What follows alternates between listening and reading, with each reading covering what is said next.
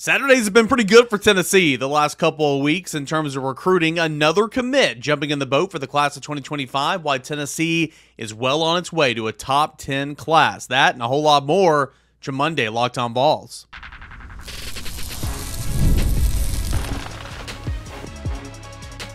You are Locked On Vols, your daily podcast on the Tennessee Volunteers, part of the Locked On Podcast Network, your team every day. Hey, what is up, everybody? Welcome into it. Happy Monday morning, and uh, appreciate you guys for tuning in here to Locked On Vols. I'm Eric Kane. We're a part of the Locked On Podcast Network, where it is your team every single day. And thanks so much for making Locked On Vols your first listen, your first watch each and every single day. Got a fun show coming up today, but first, couldn't do it without our friends over at FanDuel Sportsbook, where they make every moment more. Check it all out over at FanDuel.com. Christian Gass has committed to the University of Tennessee. Longtime priority target, long time um, uh, just assumed soon to be commitment for Tennessee. It became official on Saturday. We'll get into that. What Tennessee's getting out of a linebacker and Christian Gass coming up in a matter of moments. Uh, Tennessee picked to finish seventh in the Southeastern Conference in 2024 from SEC Media Days. That news came out on Friday. We'll go over which teams were ranked ahead of Tennessee. Is that fair or foul? Seventh overall. Is that fair or foul? And uh, what are the overall projections for Tennessee in 2024? That's coming up in segment two.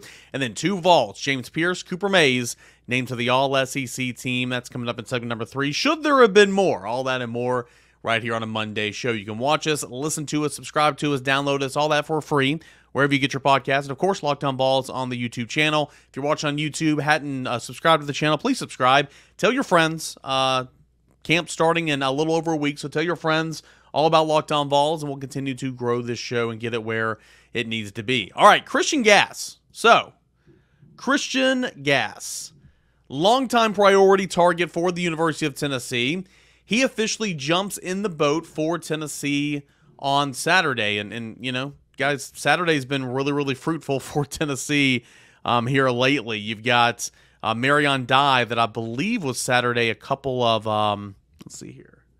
I believe that was on Saturday a couple of weeks ago. I might have to, to double check on that. But I know Travis Smith obviously was last Saturday.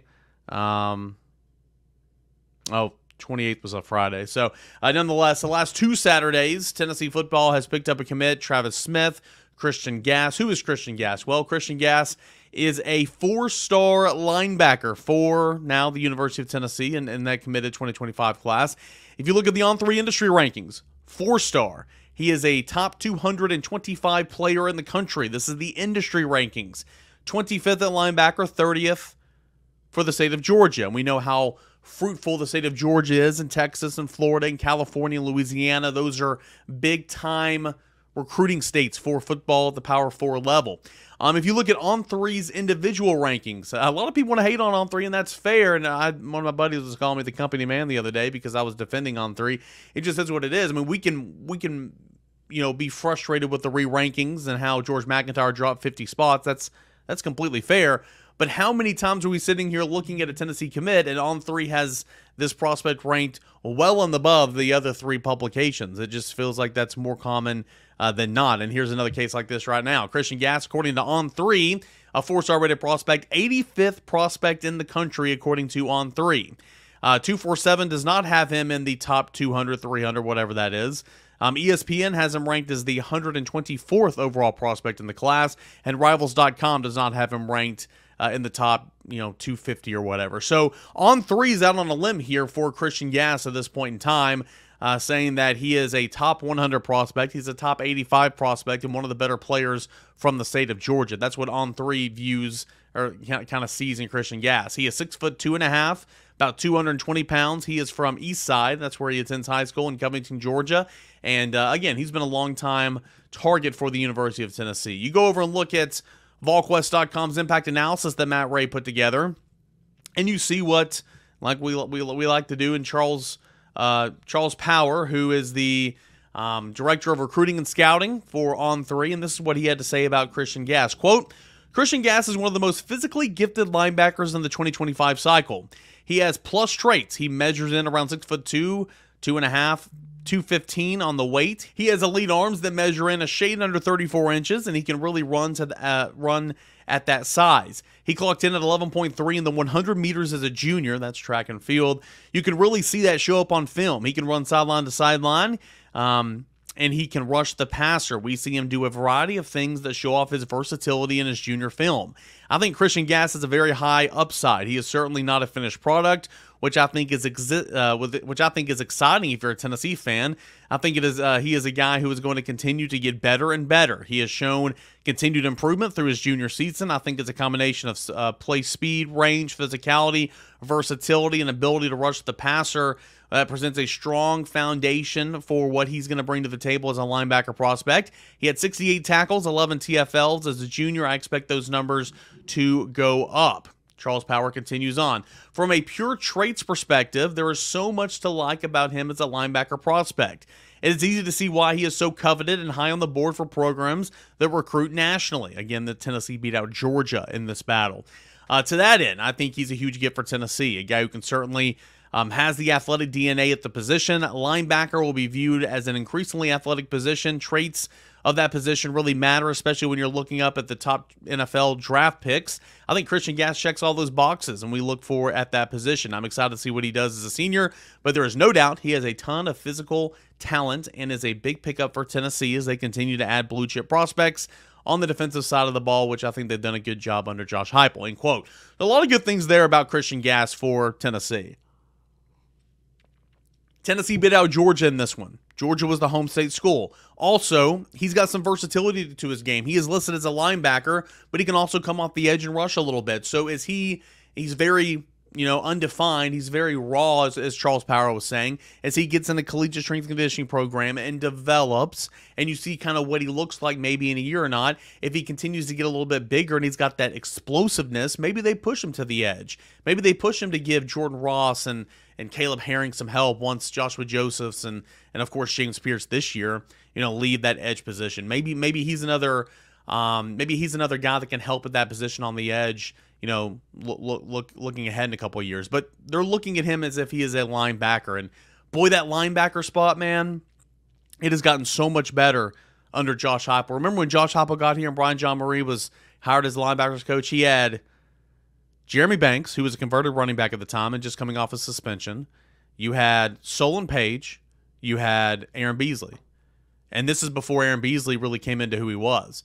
You played three linebackers. You had Juwan uh, Mitchell, Juju uh, Mitchell there, uh, you know, transferring over from, I think at the time was Texas, but he was very much in and out of the lineup. Then he had a season ending injury his first year here with Tennessee. That first year in 2021, man, you, you played three linebackers, and it was tough. Now look at what you've got in the cupboard right now. Of course, you've got Keenan Pili, you've got Arion Carter, you got Jeremiah Telander, you've got Edwin Spillman. You're adding in guys like you know, Christian Gass and, and Jordan Burns and Jalen Smith and, and some of these other guys that are already in the committed class. So uh, this linebacker position's really gotten better and better since Josh Heupel, of course, has been here, head coach of Tennessee, and um, it's adding to the future here. I just jam my finger on my desk. it's adding to the future here in Christian Gass um, with the commitment to Tennessee um, over uh, the weekend. This coming up on Saturday. So Tennessee now sits 12th if you look at the uh, national rankings over at On Three, Tennessee Volunteers football industry comparison commits, 12th in the nation, sixth in the SEC. Tennessee now has 18 commits for the class of 2025. Tennessee's doing a really, really nice job because you look at some of the other guys that are set to be coming off the board here in the next couple of weeks. Five star offensive tackle David Sanders. We know about this one. Uh, Tennessee's been on this one for quite some time. I believe that's August the 18th. So that's coming up in a couple of weeks. You know, that's probably the top target that's still on the board. Christian Gass jumps in the boat on Saturday. Uh, Shady Hayward is going to be making a making a commitment announcements, I believe, this upcoming weekend. And man, Tennessee's been in the driver's seat for that one for months. For months, Tennessee's been in the driver's seat for that one. That is for sure. Um, Onis Konanbanny, um, cornerback, highly rated four star cornerback. Tennessee's been one of several schools that have been kind of in the driver's seat there. And you know, Tennessee's probably the program to beat, but also LSU, North Carolina, Utah are in that conversation as well. So he's another guy to be looking out for. A couple flip candidates. You just talked about Christian Gass being a linebacker. Jadon Perlotte, who's a very much a flip candidate to Tennessee from Georgia, hasn't happened yet, but Tennessee's very much the team to beat in terms of it, it, it feels like he's not going to be in Georgia's class. And Tennessee is a very Tennessee is the team that is sitting in the driver's seat to flip Jadon Perlotte um, at, at linebacker. DaSaahn Brame, tight end, to pair with Jack Van Dorselaer, committed to Oregon a little while ago, but a couple weeks ago, but he loves Tennessee, and that one feels like it has all the momentum to the Big Orange. It truly does. Other guys that are still on the board that Tennessee's trying for, but you know we'll see what happens. Is Josh Petty, Juan Gaston, um, let's see here, a couple running backs as well. So my point in all this is Tennessee just continues to pick up value and value and value. And yes, Tennessee's sitting at 12th in the nation right now, but you get a couple of those guys in that I just mentioned.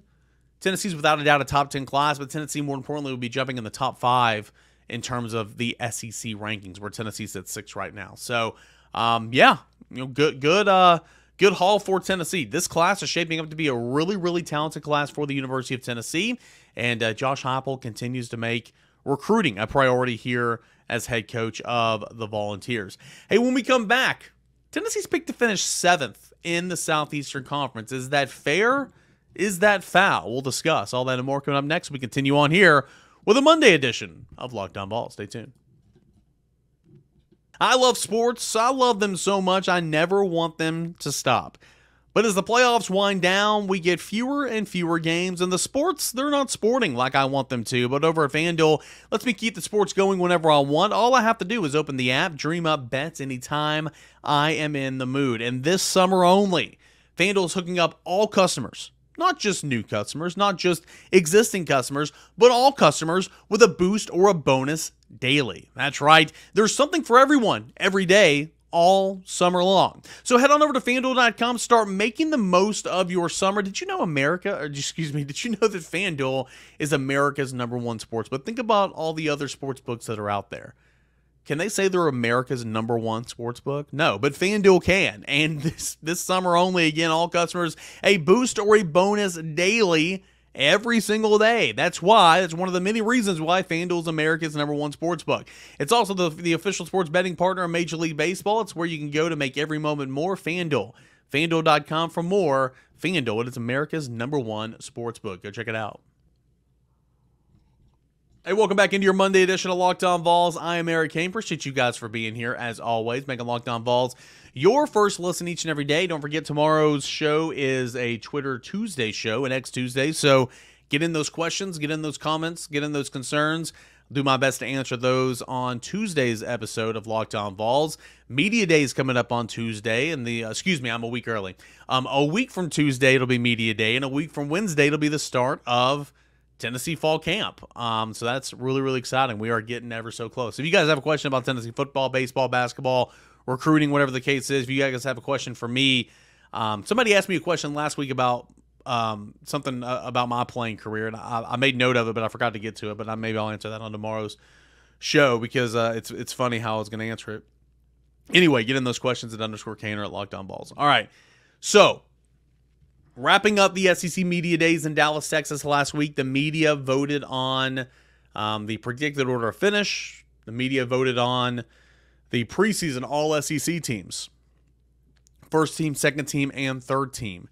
Um, I have did not vote this year because I did not get a link to vote. Um, somebody asked me on the General's Quarters, do media have to be present at the event to vote? And that answer is no, but you need to be on the SEC Media Days email chain, if you know what I'm saying. So, like, since I didn't go and cover the event this year, I was not on the email chain. They got all the transcripts and videos and all that sent to me, and the passwords go on the on the portal and all that. Like, if I were, they would have been sending emails saying, "Hey, at this link, please vote." The SEC predicted order of finish by Thursday evening, or you know, the all SEC teams by four o'clock on Thursday afternoon. You know what I'm saying? So I didn't get all that. So technically, you can go for a day, leave, but if you're on that chain, you can vote. Um, I didn't vote, but fact of the matter is, the media did vote on this.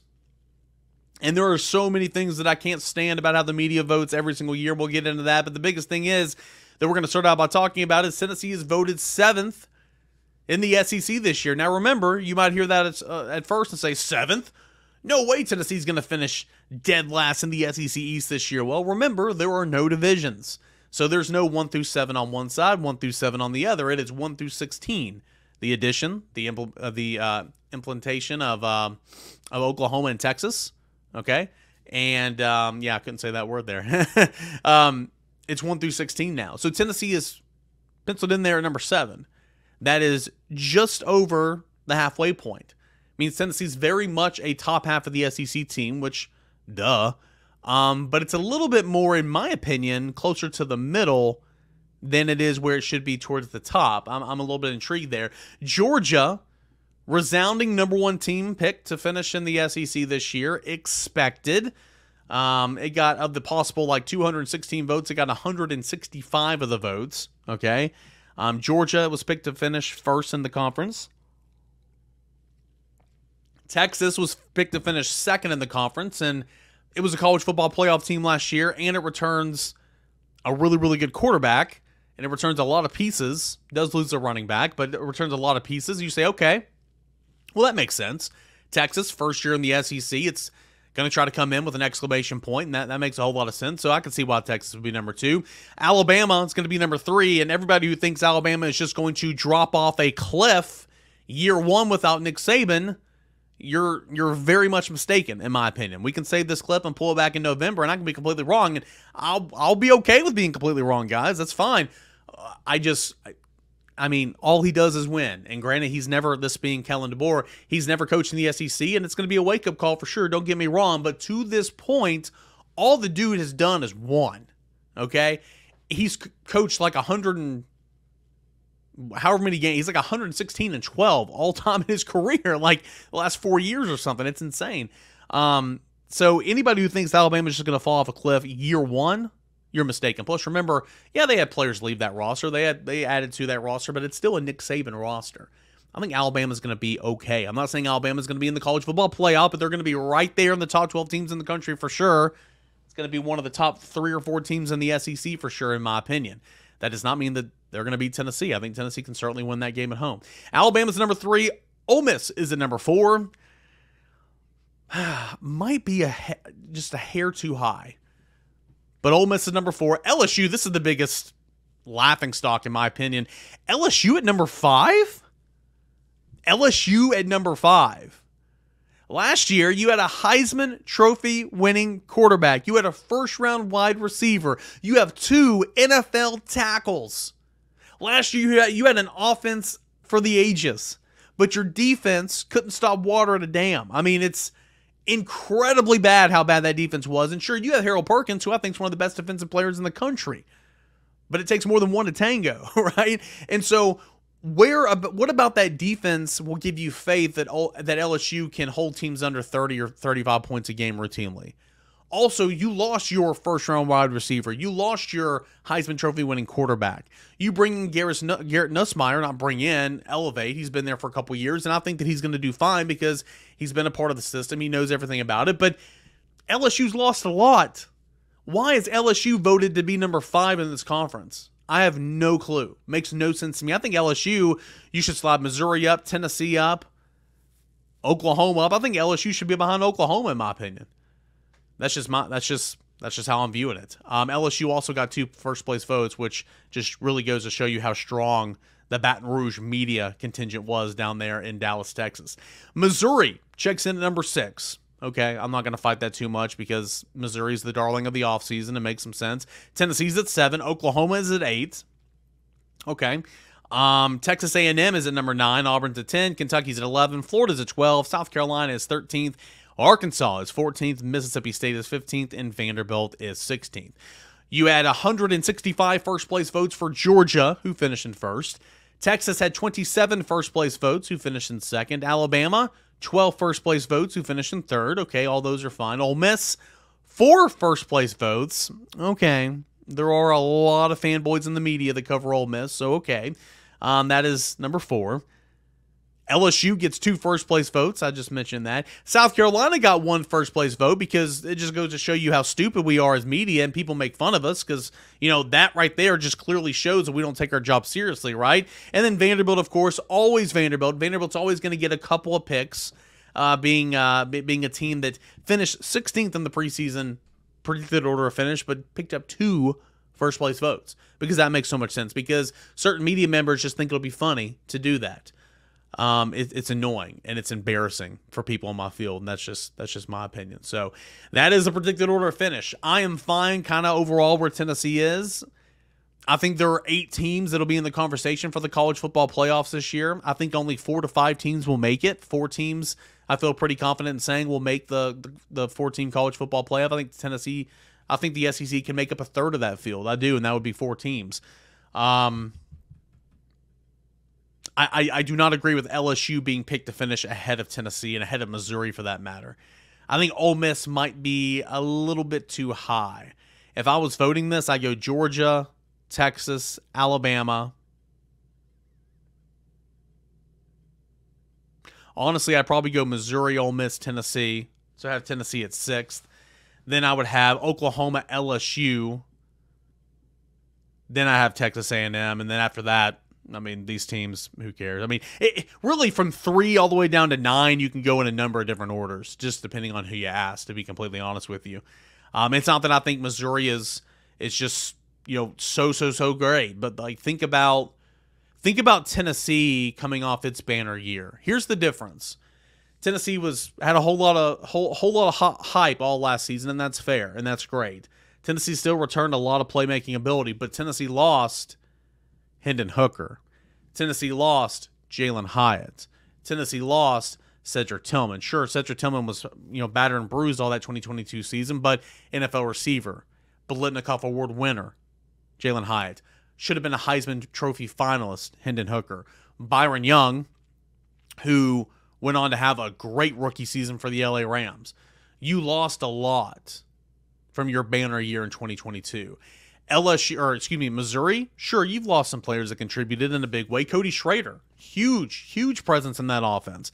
How is Brady Cook going to function without the stability and durability of a Cody Schrader who got the ball about 45 times a game last year? I, I don't know. But you do bring back Brady Cook and you do bring back Luther Burden, and it takes more than two to tango. I recognize that, but you have more coming back to work with this year after a banner year than that of Tennessee 2022 to 2023. So I get why people are so high on Missouri. I mean, I understand. I'm not saying that Missouri is going to be all world this year.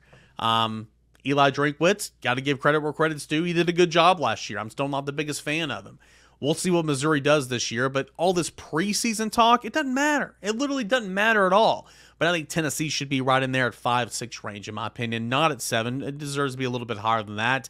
Um, I think Ole Miss is too high. I think LSU is very much too high.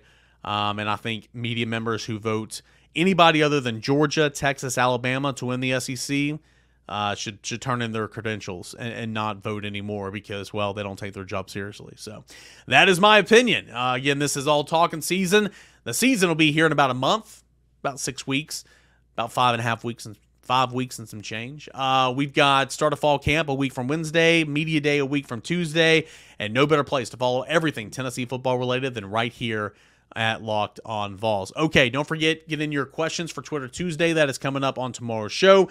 Um, two team, two Tennessee Volunteers named to the All SEC preseason team. Who are they? I'll give you two guesses. You'll get them in your first two guesses. But also, should have there been should have there been more? We'll discuss as we continue on here with the Monday edition of Locked On Vols. Stay tuned.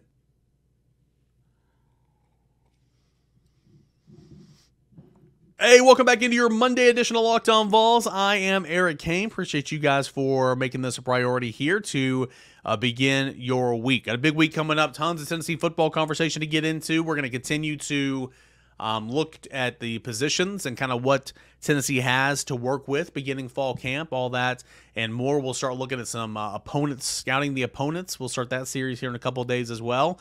And um, man, I-, I love this time of year. There's no better time than this time right here every year. It's when football is beginning to start. So, two Tennessee Volunteers named to the preseason All SEC team. I will give you two seconds to throw out the two names that, if you haven't seen it yet, or if you live on a rock, I'll give you two seconds to guess the two names for Tennessee's All SEC team, starting now. One, two. Cooper Mays and James Pearce. Of course, who else would it be? They've been named first team All Americans by Walter Camp and, and Phil Steele this offseason. They've been named all region teams and preseason all, you know, all conference from this publication and that publication. Well, the media voted both James Pearce and Cooper Mays, preseason first team All SEC selections. So that's awesome. Um, you know, no no surprises there. Um, that that's about that that is what was expected. Also, sidebar, real quick before we continue to get on in this, if you look at the SEC release and you look at the preseason All SEC selections, and I know you've probably seen this on X, but if not, they they put initials essentially abbreviations for all the teams like Georgia's UGA, Missouri's MIZ, LSU's LSU, Texas is TEX. Um, oh, that brings me to the one I'm saying here. Texas's abbreviation was TEX. Tennessee's was UT. So the SEC is throwing its weight around in the whole who's the real UT and saying that it's University of Tennessee. Well, that is a safe and easy pick. Why? Well, because not only has Tennessee been in the SEC longer than the brand new edition of Texas, it was a founding member of the Southeastern Conference. The Southeastern Conference was founded in Knoxville, Tennessee, and oh yeah, the University of Tennessee has been a institution longer than Texas has been a state. So anyway, I will never not have the opportunity to throw shade at the uh, Longhorns, the you know, people who think that they're the real UT, horns down. Um, am I going to get a 15 yard penalty right now? I don't know, but horns down. Um, yeah, I just uh, the conversation is just so bogus. So the SEC doing the right thing and just having some fun here. That this literally doesn't matter. But the SEC doing the right thing and giving Tennessee the UT abbreviation. I thought that was cool. But nonetheless, Cooper Mason and James Pearce first team All SEC selections. But that was it for the University of Tennessee. There were no other volunteer that were named to the second team or that were named to the third team. And I got to be honest with you, back when I voted on this stuff, and I went to SEC media days every single year. By the time you get to the All Conference preseason third team you're just looking for names that you know a lot of the times because it's so silly. Phil Steele does four teams. It's so silly to vote on anything more than two teams, in my opinion, because, yeah, quarterback, you're top heavy. Um, wide receiver, you're top heavy. Defensive line, you're pretty top heavy. But a lot of these guys, you don't know who all these safeties and cornerbacks are around the league. Once you get to the third team, you're looking for names that you know at the very minimum. There's only a few positions where you truly need a third team to give somebody some recognition, is what I'm trying to say. It's too many teams. But even that, even with that, nobody from Tennessee was named on the All SEC preseason third team. Uh, you look at the first team, and it's Carson Beck at quarterback. You know, no shocker there. Trevor Etienne, who transferred over from Florida, he's now at Georgia. Him and Jarquez Hunter from Auburn get the nod at running back. Luther Burden, Tre Harris of Missouri and Mizzou. Um, you know, uh, I get that. You look at the rest of the offensive line around Cooper Mays, Tyler Booker, Will Campbell of LSU, Kelvin Banks, one of the best offensive linemen from the state of Texas, and Tate Ratledge from Georgia. Um, yeah, yeah, those all those all make some sense. So that's a pretty pretty nifty offensive line. You look at the second team offense. Quinn Ewers, uh, new quarterback from Texas, into the SEC. Of course, he's a really really good player. We've known for a while. Uh, running back Raheem Sanders, Rocket Sanders, going from uh, what you call Arkansas to South Carolina for this year. And then there's a tie on the second team, so they gave it to him both. C.J. Baxter of Texas and Montrell Johnson Jr. of Florida. Isaiah Bond, uh, Kyren Lacy, LSU in Texas. You've got um, Emery Jones, who's the other NFL tackle for, for LSU. He's on the second team. Parker Brailsford of uh, Alabama is the center. Caden Proctor, Xavier Truss, and Dylan Fairchild is the rest of the offensive line. Look at the third team. Quarterback is Jalen Milroe. Running back is Justice Haynes. Uh, other running back is Ulysses Bentley. Okay, Deion Burks, Dominic Lovett are your wide receivers. Oscar Delp, who I think Oscar Delp should probably be the first team tight end, um, but he's the third team tight end of Georgia. Um, he's there the, on the third team offense. And yeah, I mean, that's the you know, offensive lineman. I don't really even know a lot of these names. My point is, where is a Dylan Sampson? Where is a Javontez Spraggins? Where is a John Campbell? you know, like I, I understand not having a Bru McCoy up there or you know not having a, obviously a Nico up there or a Lance Heard because Lance Heard is brand new and didn't start last year. But where are some proven established guys like a Javontez Spraggins, a John Campbell? Um, where are they? I, am I'm a little confused on why Tennessee doesn't have more representation on the offensive side specifically. Look at the defensive side. There's James Pearce at the top, defensive end, Walter Nolen, Deone Walker, and Stackhouse from Georgia. That is a really, really good defensive line. Harold Perkins, Danny Stutsman are your linebackers.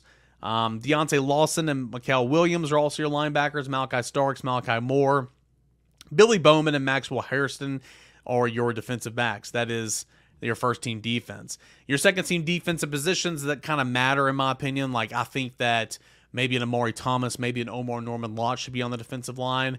But, you know, Nick Scourton from from Purdue. Now he's at Texas A&M. He's on the second team defensive line alongside Tim Smith, Jared Ivey, Landon Jackson, Shemar Turner. Those are all names that I recognize. Okay, um, 13 defensive line.